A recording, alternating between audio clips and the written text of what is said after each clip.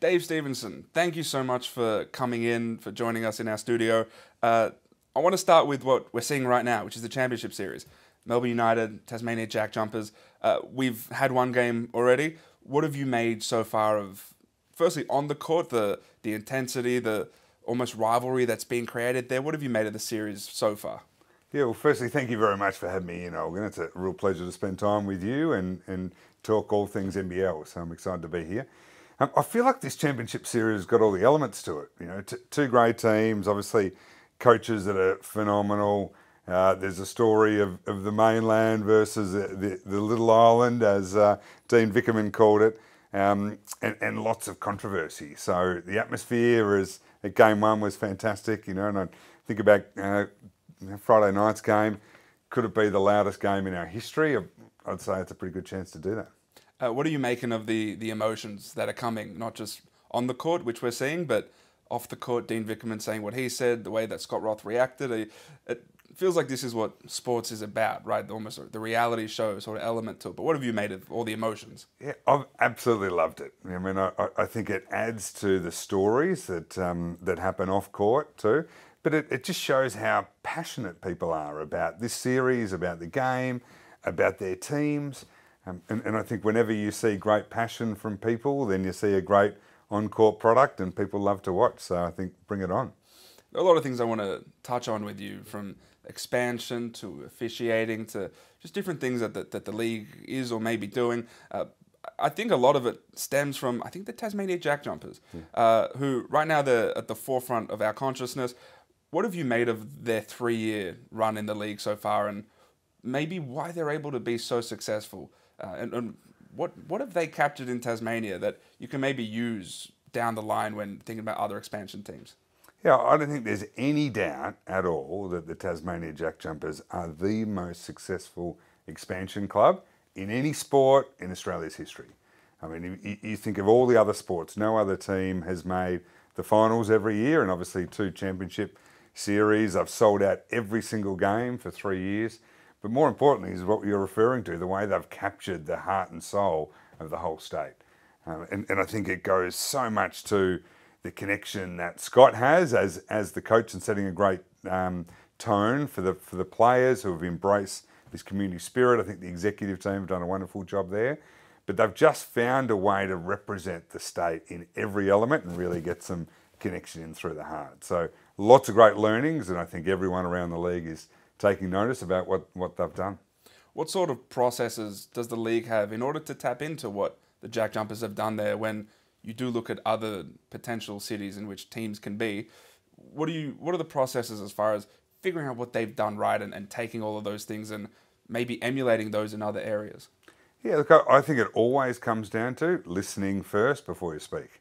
Because I think if you spend enough time with the people in the community, you understand what's important to them and whether that's the basketball community or the broader community, and then you tap into what's that element. And I think the whole defend the island of, of what Scott came up with and the, the club has embraced really talks so much about the way in which Tasmanians view their state, and, and that representation of the Jack Jumpers has really materialised that. And so that's not the story that's going to work for every other city uh, or every other team, but really tapping into understanding what that community thinks and feels about their sports and their basketball, but more broadly their community. And I think that's a recipe for success. So you mentioned it's not the same in every city. And so I, I look at Tasmania and I look at the Gold Coast. Gold Coast is a, a team that all of the whispers indicate that they're probably going to be the next franchise in the NBL. Obviously, there is interest from the NBL, there's interest from the Gold Coast government, they're different from a culture standpoint. Tasmania and the Gold Coast teams often haven't succeeded in the Gold Coast when when any league tries to put a professional team there.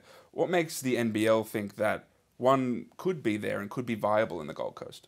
Yeah, I think there's a couple of elements um, that we always think about. Is one is always the connection to, to fans, and, and what problem are we trying to solve, or what opportunity are we trying to realise?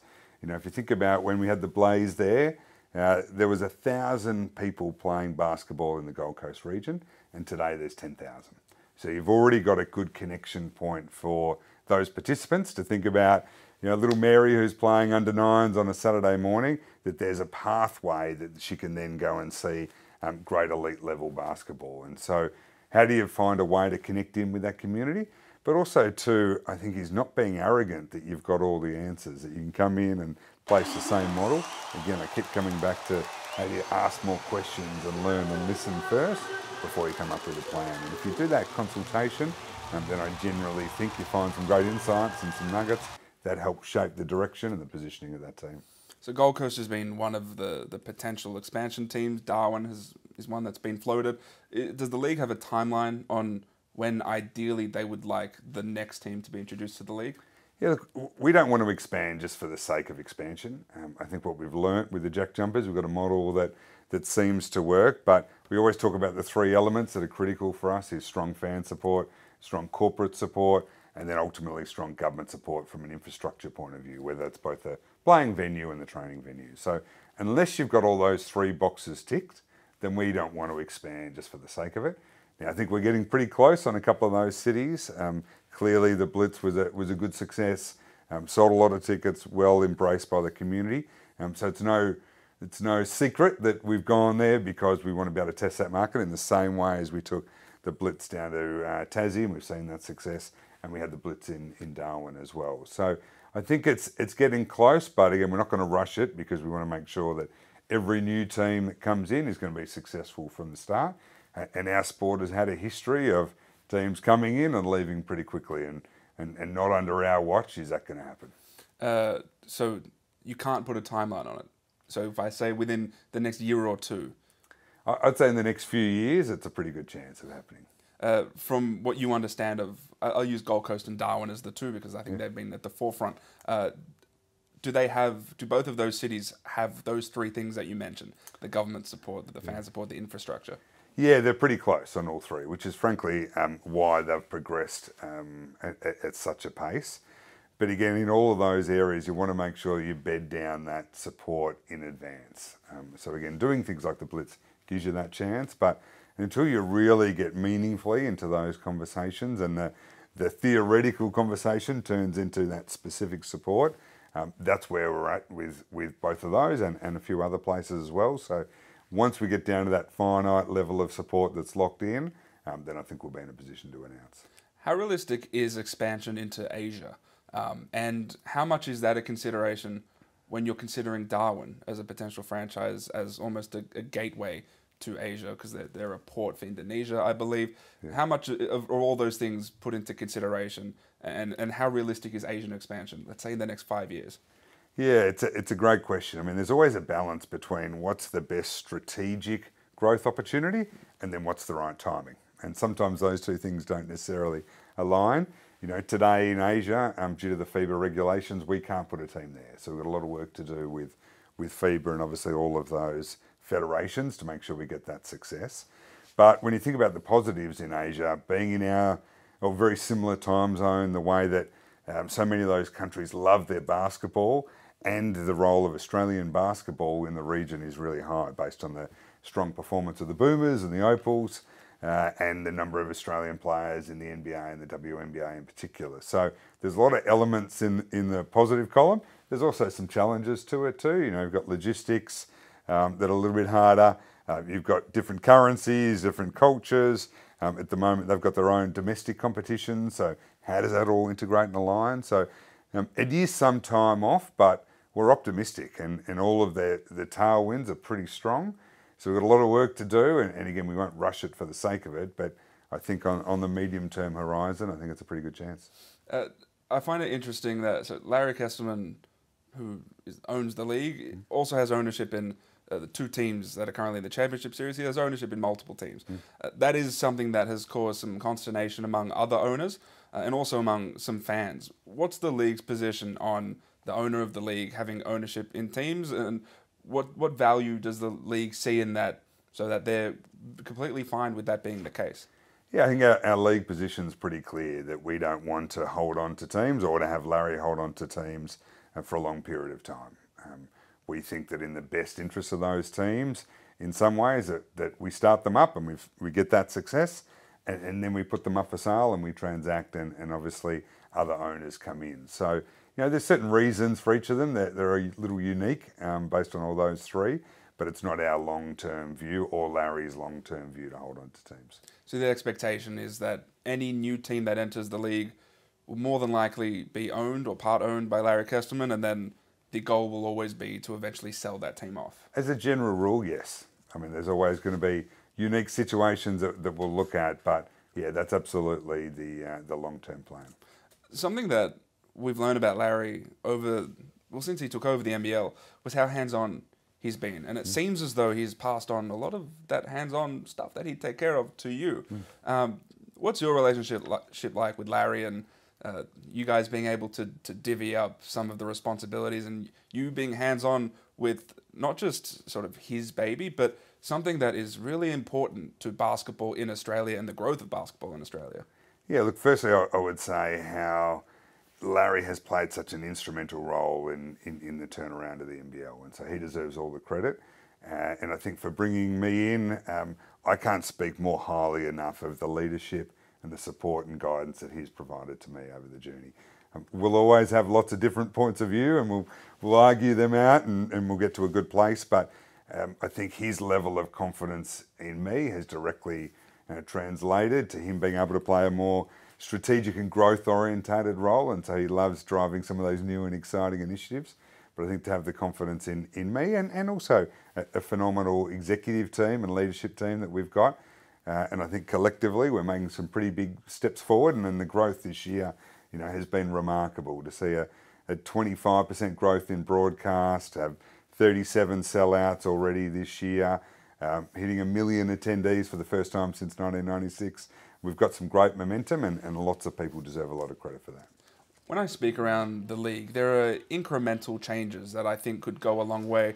Um, there are a few of them that some have brought up to me. One of them is starting the season earlier. Mm. Potentially a few weeks earlier, it would mean that the season would end a few weeks earlier. I think it would allow for higher quality imports to come over here because it'd give them the opportunity to get to the NBA a little bit earlier once the season ends. Has the league put any thought into potentially starting the, the season earlier to potentially increase the quality of the league? Yeah, we've put a lot of thought into it, and I think you make a really compelling case um, for why we'd look at it.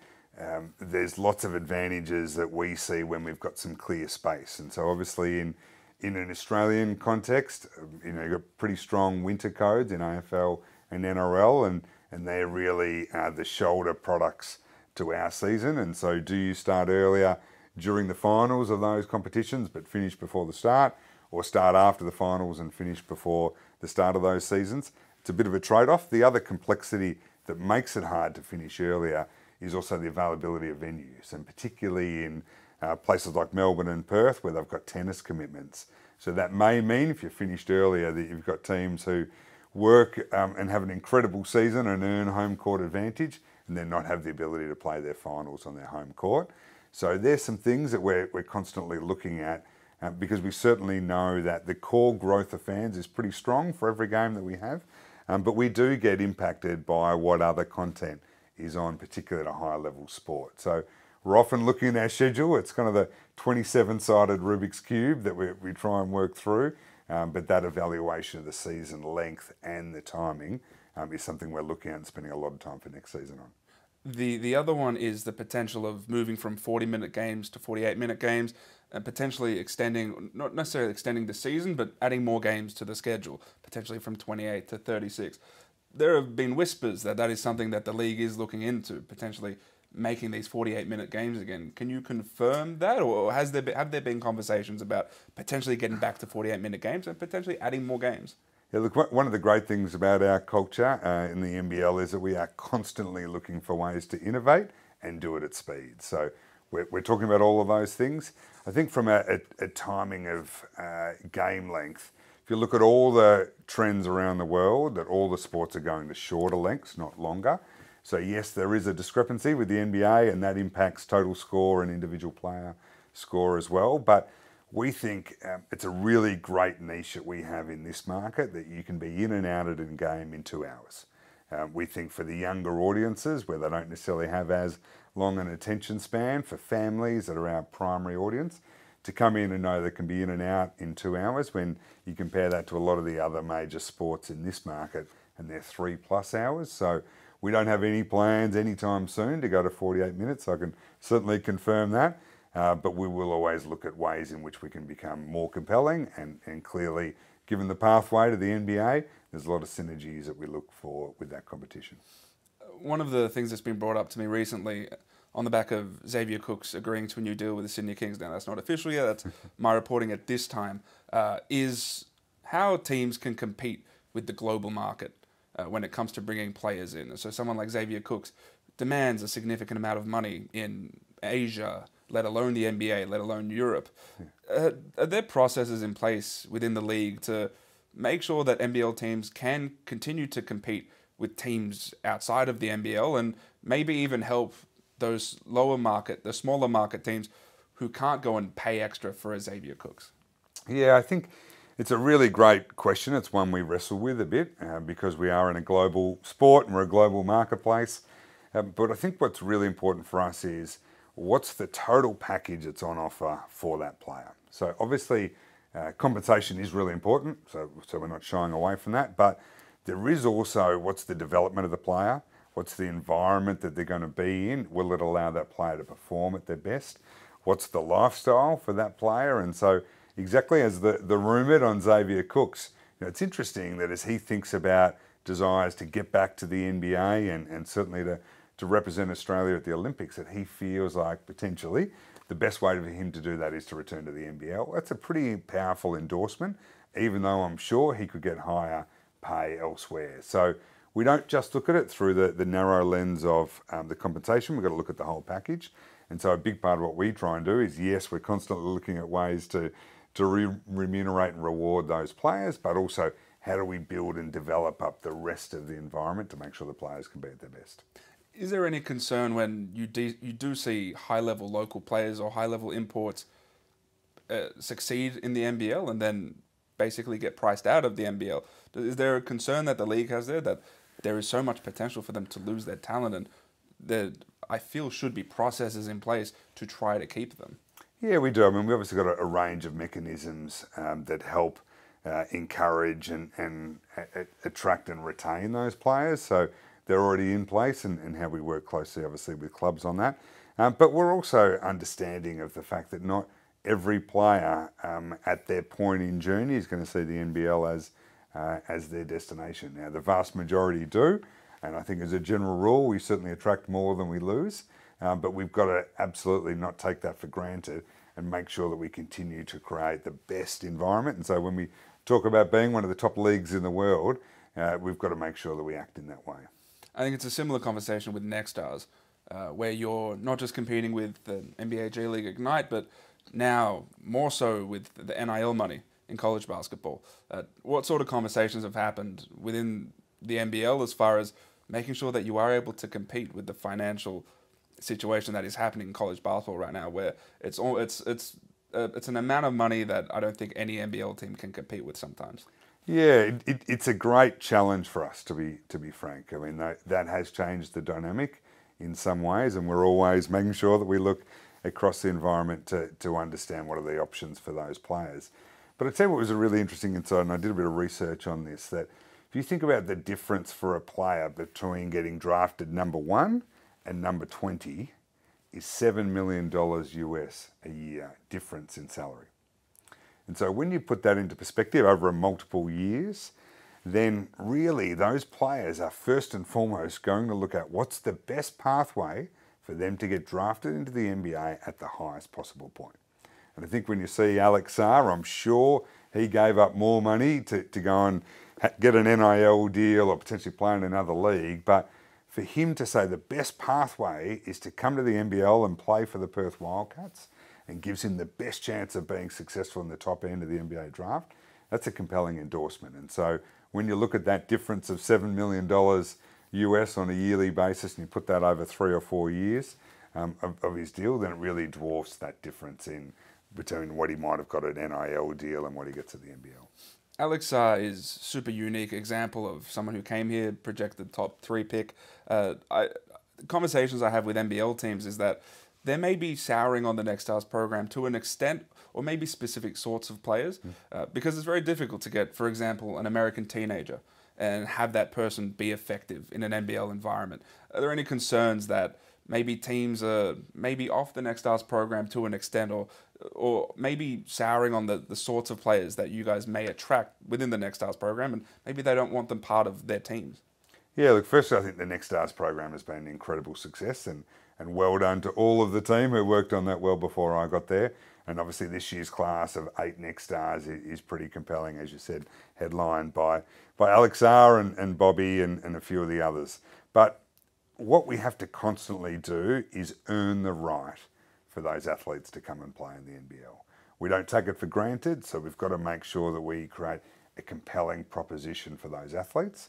But just as importantly, to your point of the clubs, we've got to make sure that that match um, is appropriate. And that's everything from on court and minutes and roles and training schedules, as well as off court and the support that we put around that athlete, uh, where they live. Some are, are, better suited to bigger cities than others, some prefer a little bit more of a laid back in, um, coaching environment. Everyone's a little bit different. So we fight really, really hard to make sure that we fully understand what the athlete needs and just as importantly what the club needs and make sure that we can get that match. And sometimes it works and, and, and we're seeing great success of that, uh, but sometimes it doesn't. And, and we're not going to be at a 100% success rate all along the way, but if we do our diligence enough, then we'll give ourselves the best chance of, of succeeding. And so next year it might be 10 teams have it, it might be six teams, who knows, we're, we're in that process of recruiting at the moment, but um, we feel really confident in the Next Stars concept, and if we do our diligence right, it should be a big success. How much has the Next Stars program acted as almost a gateway to the NBA and opening up potential opportunities to collaborate with the league and different sorts of endeavors? How much has that Next Stars program been basically something that has put the NBL on notice and made the NBA almost come to the table? Yeah, it's been an incredible success story in so many dimensions. I think we're now up to uh, 26 odd players have gone directly from the NBL to the NBA, and obviously a, a number of those being next stars. Um, it's definitely given us some credibility around the world in both the agents and, and those emerging athletes as, as, they're thinking about it. The NBL have been, you know, phenomenal in terms of their uh, their time. Certainly in, in my almost year in this role, we went over to Hong Kong and spent some time with them uh, earlier this calendar year, and, and, they've loved what we're doing here, and we love what they do. And so there's a multifaceted relationship there, of which clearly talent is an important part of those athletes. Um, and as they look to grow their presence in Asia, then really we're a big partner for them. But also as we think about you know, potential for NBA teams coming to play out here, there's obviously uh, the NBA 2K, um, we've got a team that plays in that league. Um, there's broader events and opportunities that we're in constant contact with them. So it, Next Stars has certainly helped, but we've really got a longer term multi-dimensional partnership with the NBA and we can't be more excited about it. I wanted to ask about officiating in the NBL. It's something that gets brought up to me uh, ad nauseum from uh, league, from, from owners around the league, from administrators, from players, from coaches. Uh, what's the NBL's general view on the the performance and quality of the officiating this season? Yeah, but before I answer that, I will give you a bit of context of having worked in a few other sports. Um, I have never seen a sport around the world that officiating becomes a smooth, seamless process. Um, there is always speculation, there's opinions, it's a very subjective consideration. So, one, I think what defining what success is, uh, we'll, we will always have challenges around officiating. So, um, as a context, I think that's important. But I feel really proud and great with the level of um, on court officiating. Are they perfect? Absolutely not. Um, but are they doing a really great job? I absolutely agree and I'll support them all the way. Um, they have an incredible diligence around analysis, both in game and after game. In that, as soon as they finish a game, they get a, a video cut from Scott Butler and the team that analyses every decision, every non-decision, uh, every questionable decision, uh, and they use that to improve and get better. And so I really think about the NBL's officiating team in exactly the same way as you think about a on-court NBL team, because high performance environment, lots of feedback, um, lots of subjectivity. Um, neither of them are perfect, but I think they're doing a great job, and we're always trying to find ways for them to get better. And so we're driving hard of how, how can we get better? What's the better pr- talent programs, we can identify them, how do we develop them better, um, how do we support them, but most importantly is how do we have great dialogue between the players, coaches, and, and the referees, and that's really important for me. So I think you're right in that leagues around the world, the, the officials become the center of the criticism. Uh, it, it, I've, I'm not sure if I've ever seen it be so widespread among those within the league uh, that it is an issue and quite a fundamental one. Have have you received complaint? Of course, complaints, but what's the level of complaints and, and, sort of reviews that you've received from teams around the league with regard to what they perceive as a, a low quality of officiating? Yeah, look, as a general rule, I get lots of feedback on, on the referees and, and in fact, all elements of, of the NBL. That's kind of the face of it. You know, you, you need to be able to own all those great things as well as the challenges. Um, there's definitely pockets um, of people who don't love our refereeing, and we're not shying away from that. And, and they've been both privately and publicly uh, pretty direct in their points of view, and we listen. And I think in, in some ways they've got some merit. Um, but importantly, what we always try and do is take it back to fact based. And so the analysis analysis that the team do in looking at all of those decisions and looking at that success rate generally says that they get a hell of a lot more right than wrong. Um, but then you don't hear from some coaches and clubs uh, or owners at all. And so, really is a, a pretty broad, broad, spectrum on that feedback. Uh, but again, we're, we're, certainly not resting on our laurels. We've got a lot of ways that we want to get better in refereeing and, and officiating, and we're really passionate about supporting them. What was it like when Adam Forde gave a monologue in a press mm. conference uh, that was directed at you mm. uh, sarcastically? It was, it, but it was pointed enough. Uh, what was your reaction to that? Yeah, look, I think it comes with the territory. You know, as much as you can be the one who goes and celebrates the, the millionth fan coming, you also have to be the face of the league when things don't go as well. And so, you know, what I love about Adam is his passion. Um, he cares a lot about his team and he cares about that performance. And we've had lots of private conversations, you know, before and, and post that, um, but lots of public conversations. So I understand that this is a high pressure environment. You know, it's a serious league, and we've got livelihoods at stake. Um, so I'll always welcome those conversations. You know, I'd always uh, enjoy whether they're, they're personal um, in a private setting or, or publicly. I understand the, the nature of sport. Another thing that I think that some people had issues with this season was the, the game review panel process, yeah. the tribunal process. Uh, there was the situation with Aron Baynes where it was a one person tribunal that was supposed to be open to the media and then immediately uh, then all of a sudden made not open yeah. to the media. Yeah. Uh, there were multiple situations where a player punched another player and didn't get suspended, and then we saw Marcus Lee uh, in the semi-finals get suspended, a two-game suspension, suspended to one game for what was I think most people saw as a hard foul. Uh, are there processes in place or thoughts about potentially changing up that game review panel process? Yeah, I, I don't think at all we um, can sit here and tell all the fans and, and, all the players in the clubs that the way that the uh, game review panel and tribunal process has been perfect. Um, we think that there's ways to improve that, and so you know we'll go jump into it in a little bit more detail at the end of the year, as we do with all elements of our uh, of our competition. Is is to do a review into it, and we've already identified some areas that you know, we, we think could be tweaked to improve that. Um, but I also think we could do a better job of educating people uh, around some of those penalties uh, and, and, what we're standing for. And I think, you know, your comparison of those two is really good. And so things like concussion, that's pretty important for us, that we'll always have uh, a, a really important priority to protect the head. And so to educate people that, you know, contact on the head is going to be treated quite differently and to contact on the body. And so I think we can do a better job of bringing our fans and, and clubs and players on the journey with that. Part of that is potentially inviting media into tribunal processes. Mm. Has there been talks about potentially adding? We see that in the AFL and the NRL. Yeah. Is there a future where the media is invited to be part of that tribunal process to oversee it? Yeah, I think the media play an absolutely critical role in, in the success of our sport because really um, the media tell a fantastic story about the game.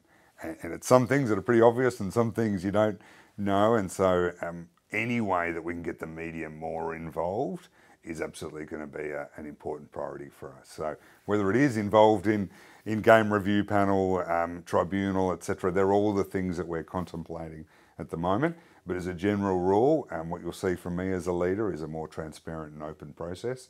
And I think that allows the media to tell their stories. Now, they're not always going to tell the stories that, that we're going to love and they're not always going to be positive. But again, I think that adds to the talkability that people care so much about this competition. We want to tell those stories. My last question is on the media, uh, and it's something that a lot of players have brought up to me, which is the role of the NBL's media arm versus NBL HQ, uh, and that the NBL's media arm often says things about players, and uh, it feels odd for some mm. players to see that the league that they work in mm. is saying things about them that may be negative, may be positive. What's your message to players who maybe have yet to really differentiate the difference between NBL media mm. as its media arm and NBL headquarters? And is there maybe a role the league could play in making sure there's literacy out there with regard to the difference between those two things? Yeah, again, it's it's something I'm very familiar with because we had exactly the same challenge at the at the AFL. Yes. So the difference between AFL media and AFL HQ, to, to use your terms, uh, but I think it's even more pronounced with us because the reality of where we're at as a sport, even though we're growing tremendously and, and we're seeing fantastic cut through, is that we are still a, an emerging challenger sport. We don't have the broad mass mainstream media coverage yet. You know, at the AFL, there was more journalists who were covering the AFL than, than politics. We're just not there yet from an NBL perspective. So the role of NBL media has to champion and tell those stories. And sometimes those stories aren't always positive about the NBL. Uh, and sometimes they're not always going to be as positive about the players and the clubs. But we've got a big responsibility to increase the level of talkability for our league. And, and when we do that, that translates really directly into more people coming to games and more people watching in broadcasts, which drives more commercial returns, which ultimately helps increase things like the salary cap. So um, I think it's, I know it's hard sometimes when you see the same entity uh, supporting in one way and perhaps making some critical observations on the other, but I think that's the way of the modern world. And, and until we get such times as we get broad mass uh, mainstream coverage, then that's going to be the role of NBL media and we'll, support them fully. Well, look, I appreciate you taking the time, coming in, and answering answering some challenging questions. Uh, enjoy the rest of the championship series. Great. Thank you so much for your support. We really love what you do.